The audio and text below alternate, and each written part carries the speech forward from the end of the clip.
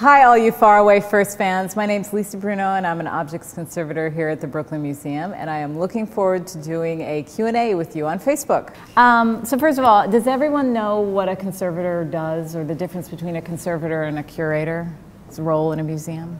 Okay, well, what a conservator does is they're responsible for the care and preservation of the works of art in the collection. And um, the kind of training that you do to become a conservator is, it's pretty much standardized now in the United States where you study art history, studio art, and chemistry on an undergrad level. And then in graduate school, there's actually four programs now in um, art conservation in the United States. And that's where you specialize into either paintings, paper, textiles, furniture, or objects. And at the Brooklyn Museum here, we have paintings conservators, paper conservators, and an objects conservator like me. And by objects, it means uh, I deal with anything that's three-dimensional. So as you're all members of the museum, you know that involves everything from ancient Egyptian objects that we'll be talking about tonight to contemporary plastic sculptures that were made, you know, two days ago. So it's a lot of variety, and that's what I particularly love about the job. And um, so should we get the lights? Sure. We're going to do a little PowerPoint first, and then we're going to pull out examples of some animal mummies so you guys can actually look at it.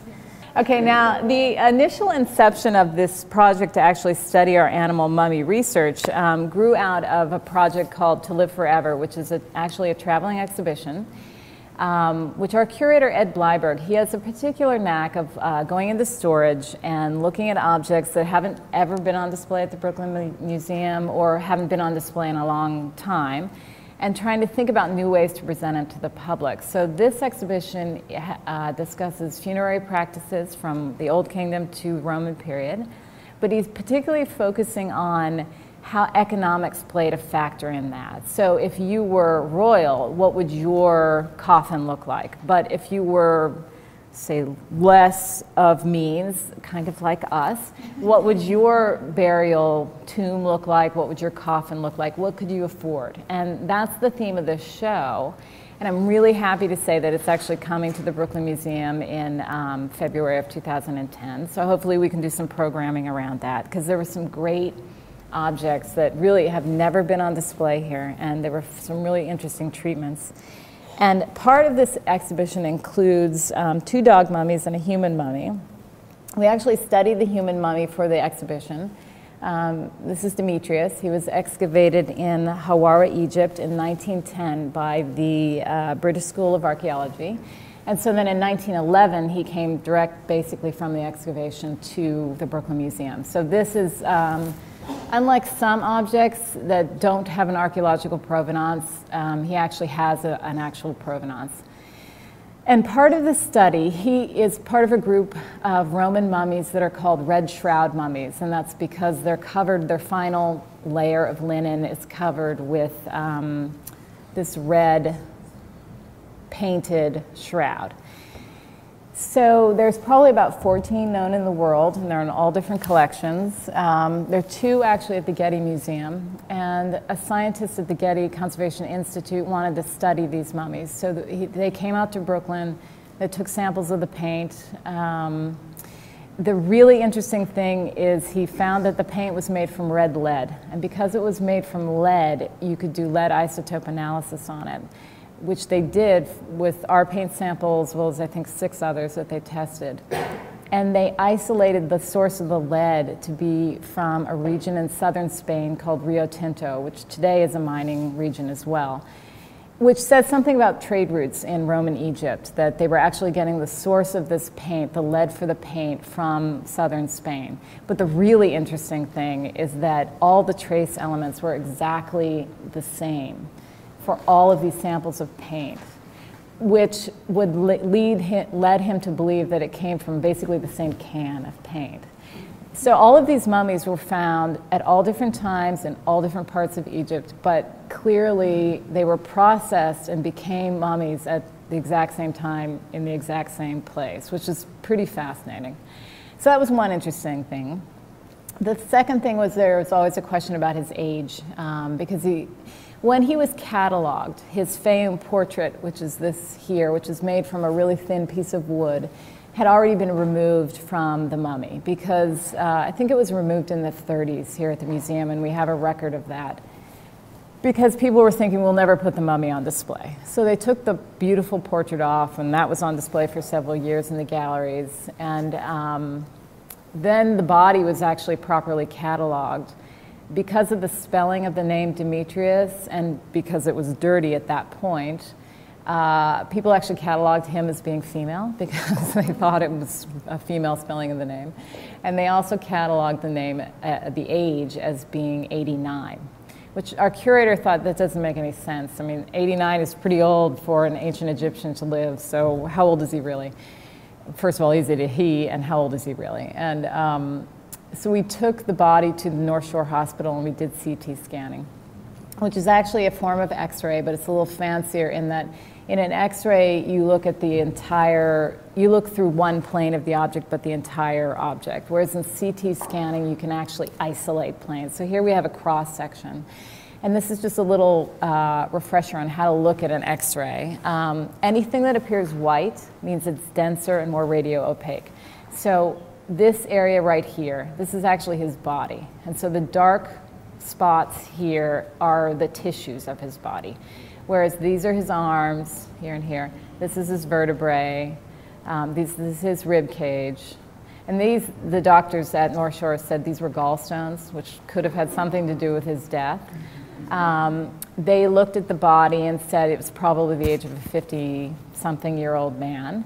So that was interesting. And then when we ended up cleaning uh, the paint surface here, uh, the inscription of his age, I think, is here, and it became much clearer that the symbol that was interpreted as an eight in the 30s when he was cataloged was actually a five. So, so that inscription plus the scientific data plus the fact that of all these mummies that have been CT scanned, their portraits do seem to be in conjunction with the same age as them.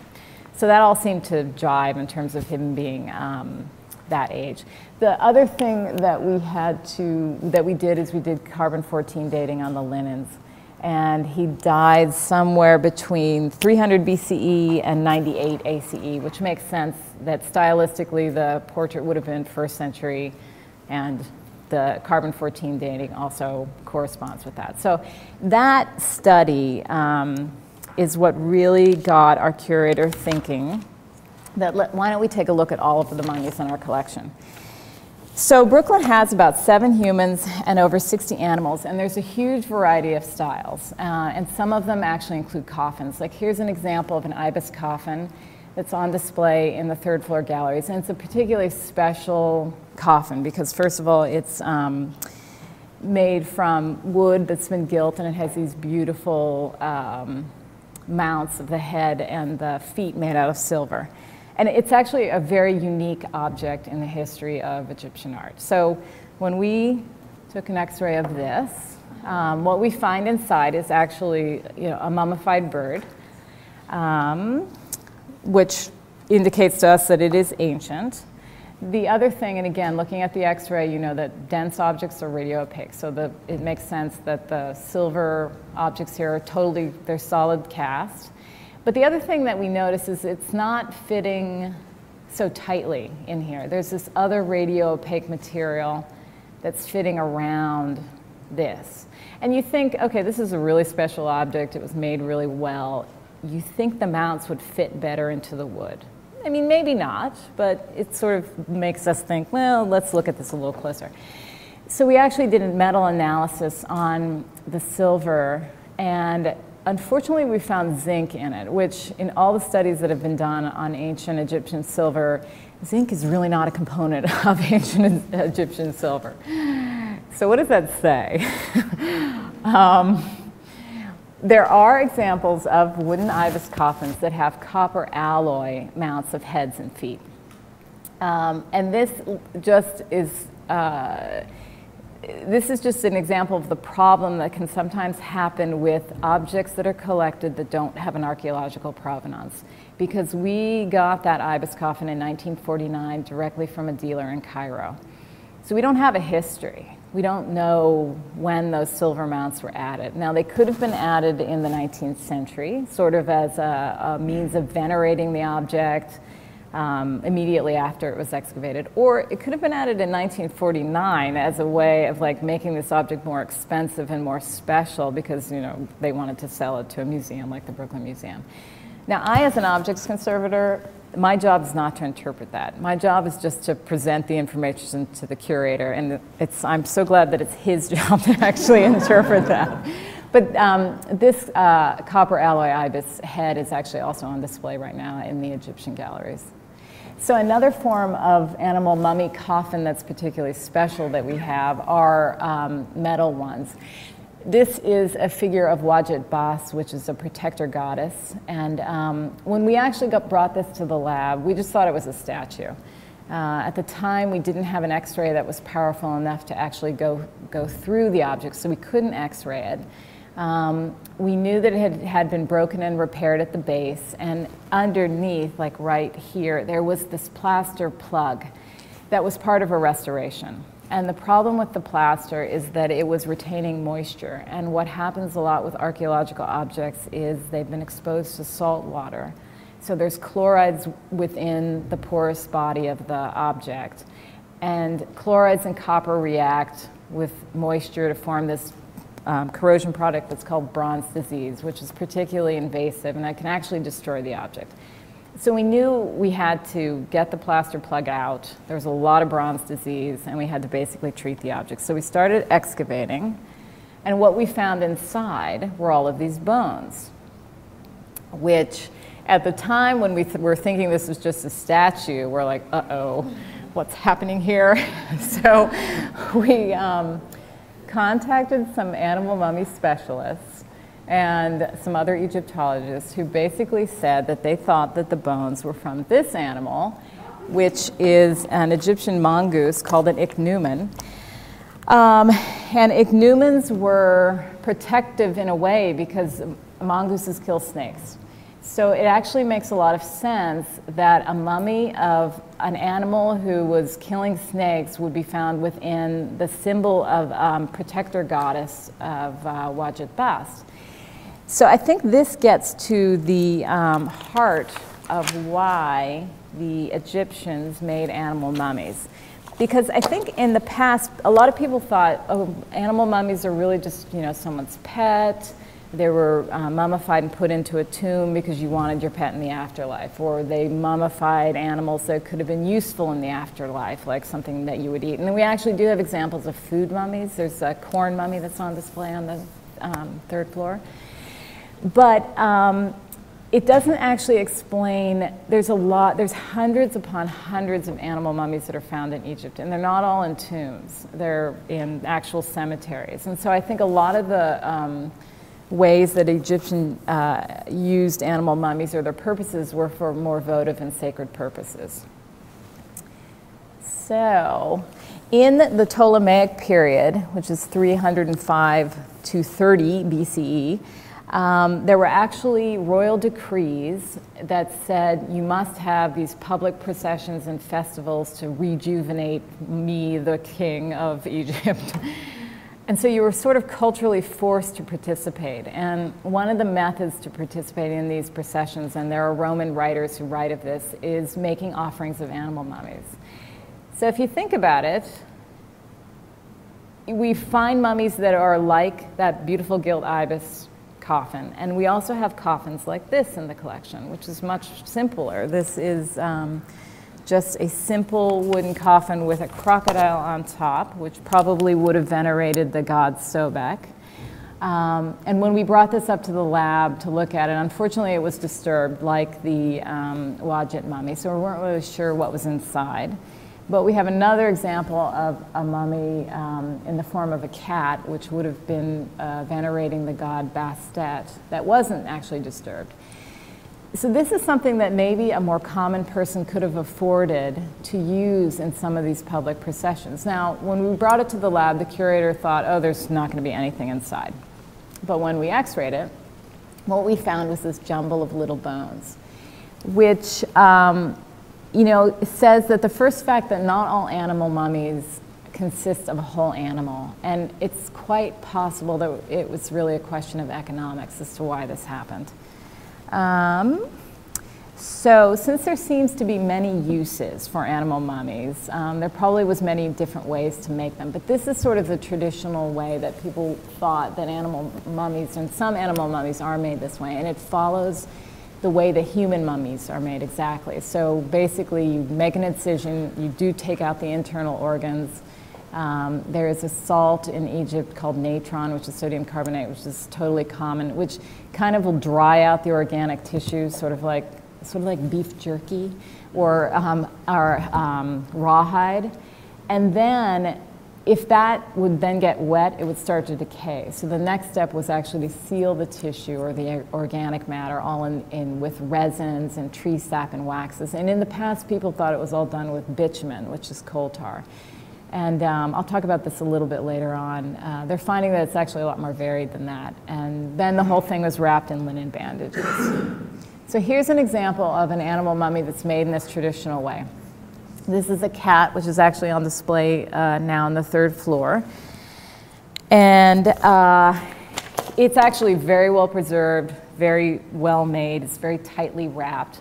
Here's a detail of the face, which when you go down to look at it, you have to get in a kid's eye view for this because it's sort of in a big case low on the ground. So you, you really have to get down to see it. But the details of the face, and it's all painted on. So he's, he's particularly beautiful. And you can see some staining there which is due to resin that was to preserve the body. Now, I know it's it's he's a pretty amazing one actually. Um, we'll, we'll we'll look at some other ones later, but so when we took the X-ray, we because he was such a specially made mummy, we were kind of like not surprised to find uh, a whole cat inside. But what we found that was sort of interesting is um, there's signs of trauma first of all like here's your vertebrae, right? And there's a little space here where it's not white. So that means that there's a little void there. And then you've got another vertebrae, another vertebrae, another one. And then, oh my God, you've got this huge area here that's light gray. So there's a dislocation. So it's as if his neck was snapped to kill him. The other thing that was interesting is, is this is a pretty big tooth for a cat? So we were kind of like, hmm, what's going on there? Um, and we're actually working with a vet from the NYU Animal Medical Center to help with animal identification. And of all the studies that have been done of animal mummies of cats, and the British Museum has looked at theirs, and the Leiden Museum has looked at theirs, there do seem to be these two groups. There's this wild jungle or desert cat, which seems to be one particular type of animal mummy.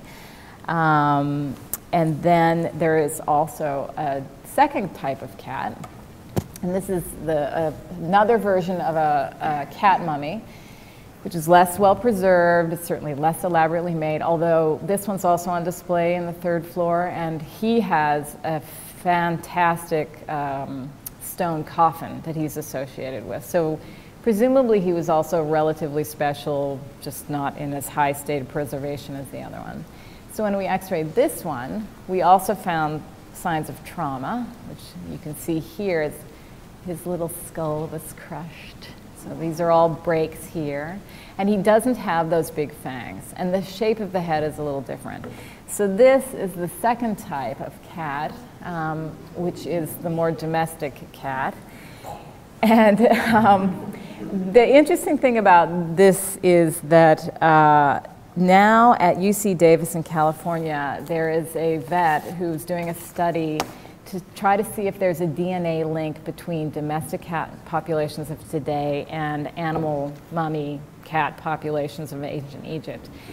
So, in doing our survey of all of our, our animal mummies, if we have material that we can contribute to the study, we're certainly going to do that. Um, the problem is, is you have to have either a tooth or a femur. And uh, if you have a perfectly preserved, well wrapped mummy, we're not going to open it up to get that material. But we also have less preserved samples in the collection. And if in working with the vet, if we identify the right kind of material, we will certainly participate. Um, so let me show you one last cat. Sure.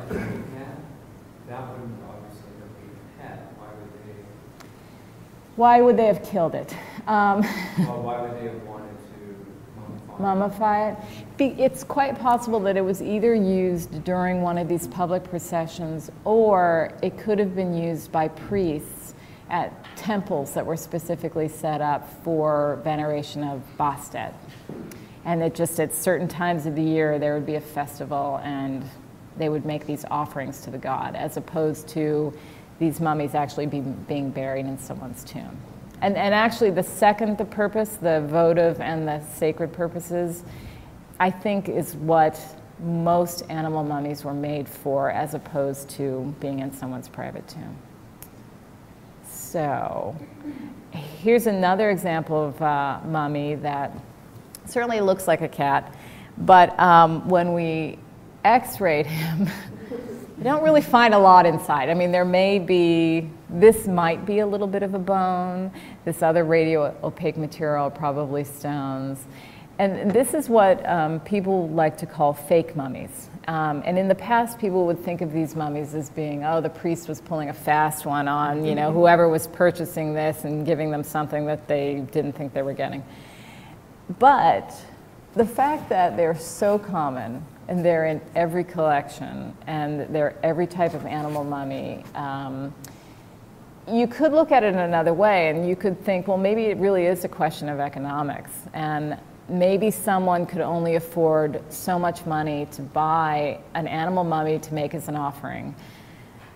And maybe what they could afford was this, and it doesn't really have actual bones in it. It just has maybe rocks that were associated with, you know, the mummification process or something.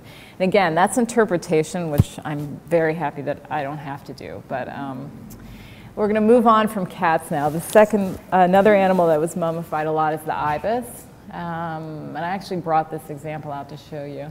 So this is one common form of ibis mummification where you have the head of the bird here, sort of turned back on its back, and then it's the linen is folded in such a way to imitate wings, and it's, it's actually a really beautiful type of mummification. And so when we x-rayed him, it, uh, you see that it's a whole bird inside. So that was, you know, particularly lovely.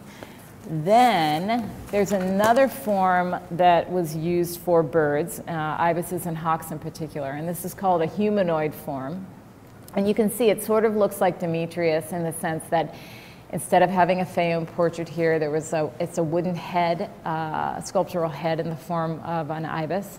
And it has an elongated body like a human and a little foot part here. And this is particular, this is also currently on display in the third floor Egyptian galleries. And it has this incredibly intricate pattern um, of uh, weaving here. So when we x-rayed this, again, we were expecting to find a whole bird, and what we find is this, and you're like, what is going on with this? In working with the vet, he said this is definitely from an ibis, this bone here. But this bone here might possibly be from a cat. And that was really intriguing to our curator because he's like, well, did they intentionally mix the ibis bone, which would have been um, venerating Thoth, with a cat bone that would have been venerating Bastet?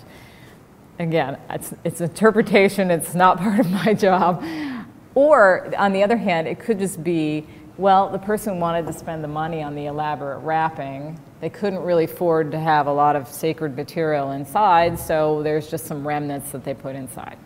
I don't know. I mean, it's, it's interesting, but it's incredibly common in, um, in these animal mummies. So, another type of animal that was mummified uh, was uh, crocodiles, and that would have been venerating the god Sobek. The thing with crocodiles is you'll find them, they're mostly small because if you think about it, as a crocodile gets bigger and bigger, it gets more and more powerful and more and more dangerous. So difficult to keep and difficult to kill. And that's actually one of the questions is how were these animals killed? This is also on display in the third floor. Uh, it's a very simple wrapping. It's basically the dried crocodile under there, one layer of linen, and then this linen tape wrapped around it.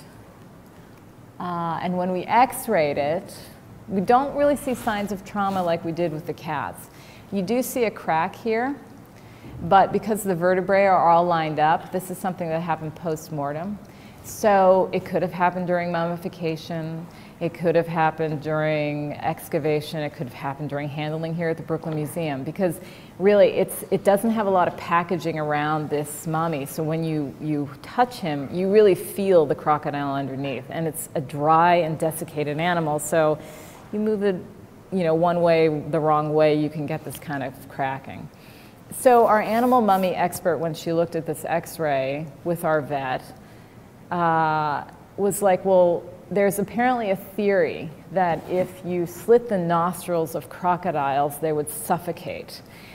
And when she said this to, to, us, I thought, well, that makes no sense because you'd have to get really close to the crocodile to actually slit its nostrils, and how can you possibly do that?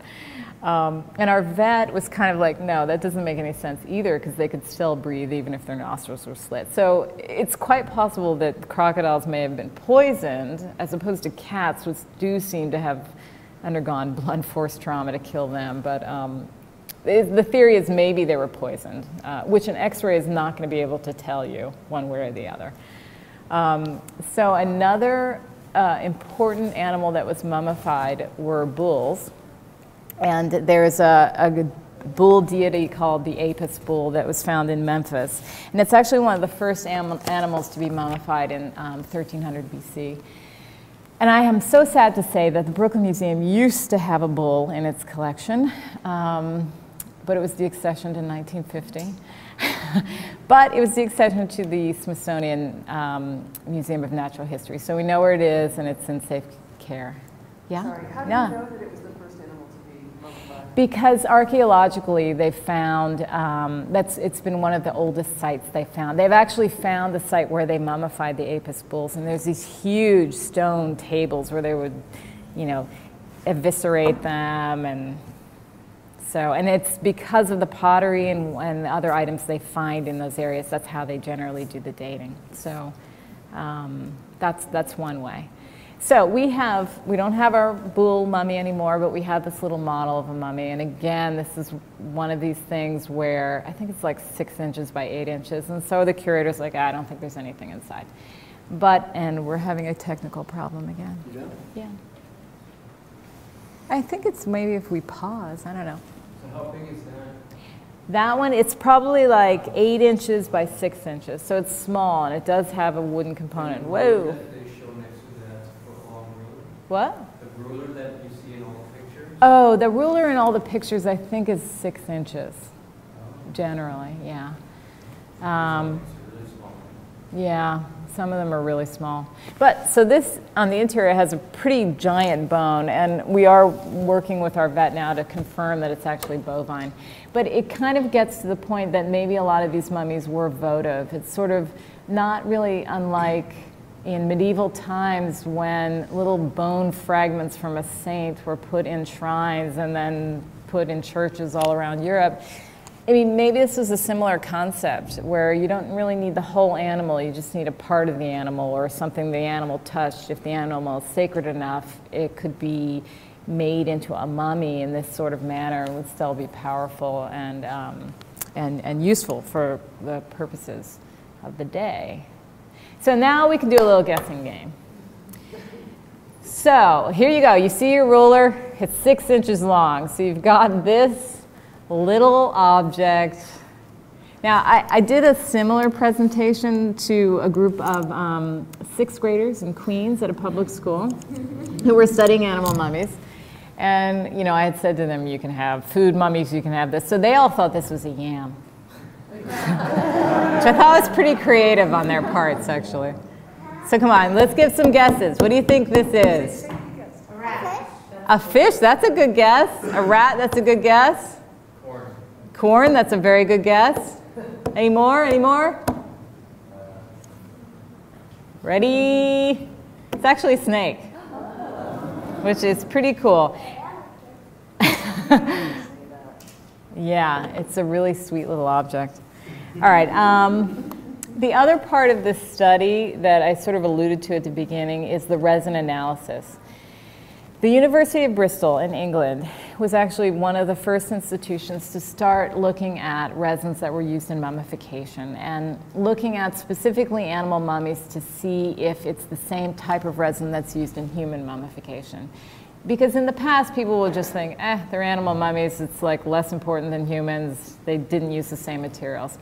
And actually what they're finding is the same materials are used. Um, the other thing that people used to think in the past, before a lot of analysis was done, well, if it's this brown resin, like this stuff here is all like this resinous material, it's brown, they called it bitumen, which is this coal tar.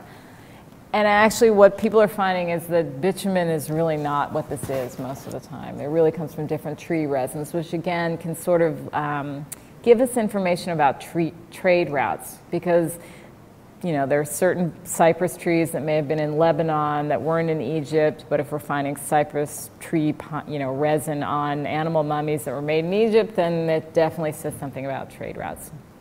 So we're really happy to be participating in the study with them. And lastly, um, I don't exactly know when this is going to air, but the Animal Planet cable network um, came to Brooklyn because this is Salima Ikram, and she is our animal mummy expert. She's actually one of the uh, foremost. She's in Egypt, yeah. She teaches at. Oh, you did? You're kidding me. Well, she's famous. That's very funny. No, I met somebody last night who knows her too. But um, she teaches at American University in Cairo, and she's made the study of animal mummies sort of one of her specialties. She's actually mummified animals now to sort of walk through the process to see how it actually works. And um, she took the producers of this program around to different sites, archaeological sites in Egypt, the collection at the Cairo Museum, and she insisted that they bring them to Brooklyn because we actually have some really, some of the nicest animal mummies around. And um, so we spent a day filming, and they're also going to the University of Bristol to interview uh, the people who are doing the resin analysis. So I think it's coming out in March, but I'm not 100% sure, and uh, so I would just say you know, look at the TV stations for that. It should be really interesting. Okay, shall we look at some animal mummies now? Here's our little fake kitty. Yeah, that's a type of ibis. Shelly, this is the one that you put out on that Twitter feed that was the fake snake bundle. Here's our little kitty with the, I'll get this out of the way. I know really a sweet. But you can actually see, like the linen's partially gone there, so you can see his. These are both ibis mummies. This is sort of how they're often found. Um, in these kinds of ceramic jars just buried in the sand, and it would have had like a, um, some sort of plaster resin, and usually a bowl. There would be a ceramic bowl on top and then sealed with a plaster resin.